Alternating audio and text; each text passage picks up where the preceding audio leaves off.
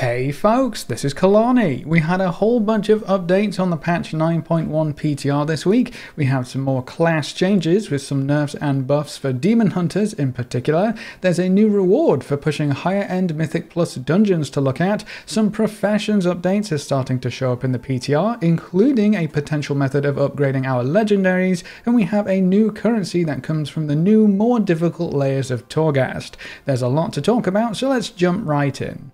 Let's kick things off with some class buffs, shall we? Demon Hunters will be very happy to hear that they'll be one of the first classes to receive some significant buffs in patch 9.1. Demon's Bite damage has been increased by 15%. The Demon Blade talent has also been buffed up by 15% to stay in line with Demon's Bite. Chaos Strike damage has been increased by 15%, and Annihilation's damage has been increased by 15% as well. That's a nice round of buffs to help Demon Hunters dish out a bit more single target damage, and let's be honest, those are the two buttons you're going to be pushing the most as a Havoc Demon Hunter, so to get a 15% buff across all of them is definitely a nice boost. It's not all good news though, I'm afraid the Unbound Chaos talent has seen a slight nerf, taking the increased damage of Fel Rush down to 500% from 600%.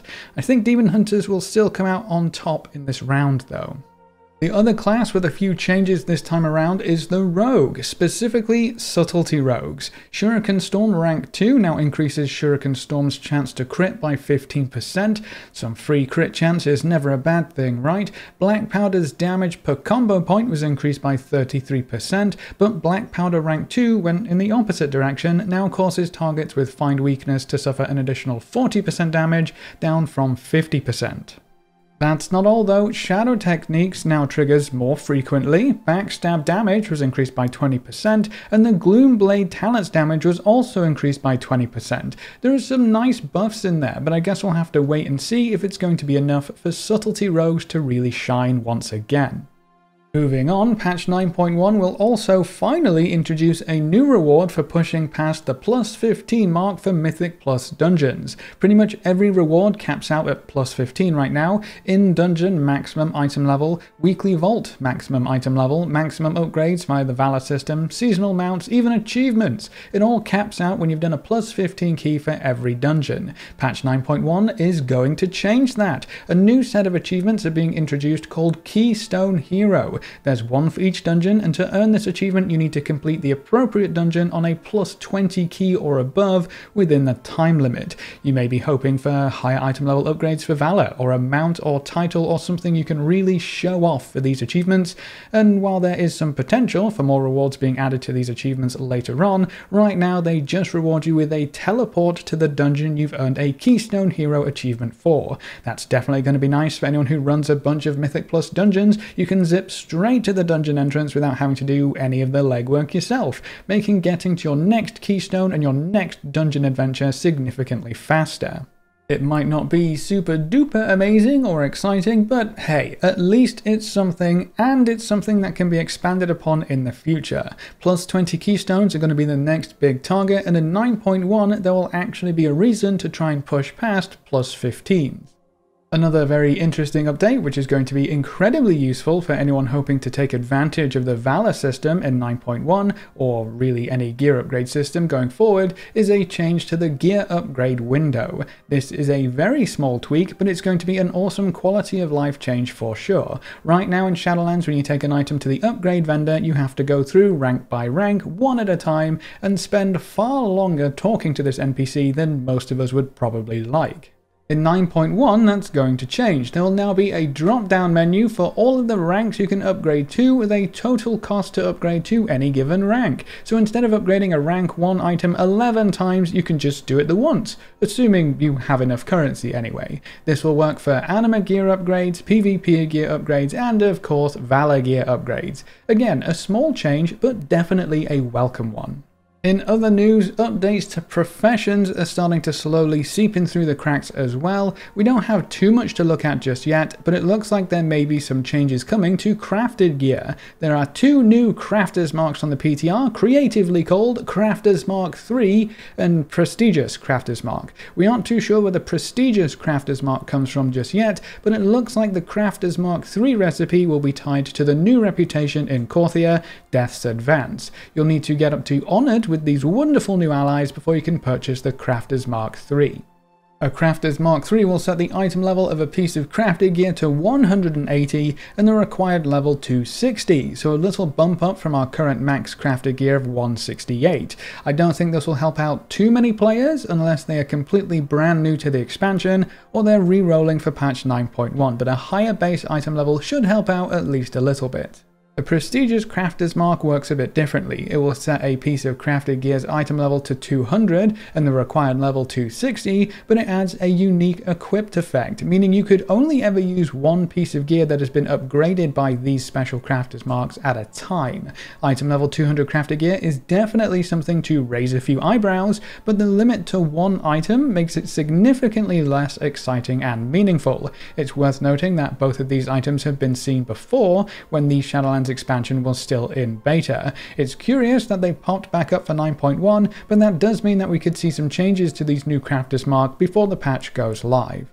Another interesting update to Professions for 9.1 relates to Legendary crafting. We know there are new ranks of Legendaries to upgrade to. Ranks 5 and 6 have already been data mined, which will take our Legendary gear up to a max of item level 260. From what we've seen so far, upgrading a Legendary isn't going to be all too different in 9.1, meaning we will need a new rank 5 or rank 6 base Legendary item, right? That seems to be the plan, but how you get those rank 5 and rank 6 base items seems to be significantly different in 9.1. Enter the Vestige of Origins. This is a new optional crafting material that you can add to any legendary crafting recipe to increase its item level. We're not sure whether the Vestige of Origins will pump up your base item to the next item level bracket or the next rank, or if it will skip all the way to rank 5. We can't test it out properly yet, but right now this is the only way to increase the item level of a base legendary piece, so all of the power for legendary upgrades will stay with the crafters as we move forward. If this item allows you to upgrade a rank 1 legendary base item all the way to a rank 5 legendary base item, that means all of the leveling up crafters have done up until this point will become more or less worthless going forward. But if you have to upgrade a rank 4 legendary to get a rank 5 legendary, well that's a completely different ballgame. These Vestige of Origins items require one very special material to create, Korthium. This is another legendary material, and we've only found one source for it so far, the new daily quests in the Maw. Curiously, it is not a bind-on pickup material right now, which means it should be tradable and can be sold and bought on the auction house. So maybe the supply of this material is accessible to all players, but to actually make use of it, you will need a crafting profession. Most of this is guesstimations at this point, and it's definitely worth noting that the item is marked as a work in progress, which makes a lot lot sense with how little we can test right now, but I think it's safe to say that upgrading legendaries in 9.1 might be a little bit more involved, and it's going to be tied to this new Korthium material. We also have our first look at how Torghast may end up in patch 9.1. Information on Torghast in general has been quite thin so far, we still can't actually get into Torghast to test anything, but Wowhead's data drills are working around the clock I'm sure, and they managed to dig up some strings related to new Torghast layers and even new wings to explore. It looks like every single wing in Torghast will get 4 new layers added right onto the top, so we'll be able to delve into layers 9 through 12, with 12 being the new maximum. It also looks like the dev team is expecting these higher layers to be quite difficult. Layer 12 currently has an item level recommendation of 230. That's a very high item level recommendation when you think about it. That's higher than our current mythic raiding gear, and it's higher than the item level of normal raid gear from the new raid in patch 9.1. I'm very interested to see how high they're going to scale these new layers, because Torghast can end up being very gear dependent, which could lock out a few lower geared players. We're not too sure whether these higher layers will drop increased amounts of Soul Ash, but we have some hints that we might be hunting after something more important, Soul Cinders. This currency was previously named Mega Soul Ash, and now that it has a proper name, it also has a source. A raw source of power found within only the most dangerous layers of Torghast, used to fuel the Rune Carver's chamber. The most dangerous layers of Torghast surely mean these higher layers being introduced in 9.1, layers 9 through 12. If Soul Cinders follow the same pattern as Soul Ash, Layer 12 will be our new one and done difficulty for Torghast, and I assume we will need a lot of Soul Cinders to upgrade our legendaries to the higher ranks in patch 9.1. I know the word around the block has been no more Soul Ash grinds for legendary upgrades, and I guess that's still technically true because the grind will probably be for Soul Cinders instead. It's a new currency, it comes from the new higher layers, and it fuels the Rune Carver's chamber. There's not really anything else else this currency could be used for except higher legendary upgrades. So get ready to delve into higher and harder layers of Torghast when patch 9.1 goes live.